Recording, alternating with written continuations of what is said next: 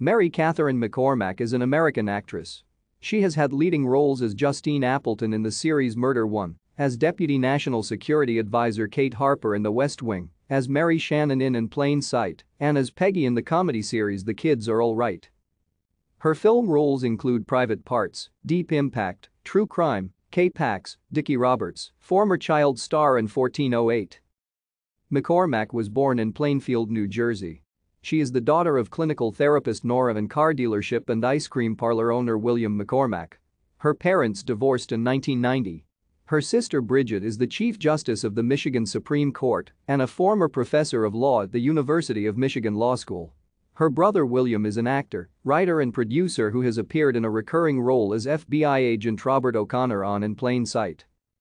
In 1987, McCormack graduated from the Wardlaw Hartridge School in Edison, New Jersey. In 1991, she received her BA in Comparative Arts, specifically painting and creative writing, from Trinity College in Hartford, Connecticut.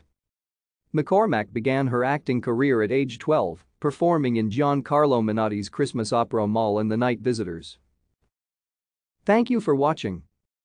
Like and subscribe if you would like to view more of our videos. Have a nice day.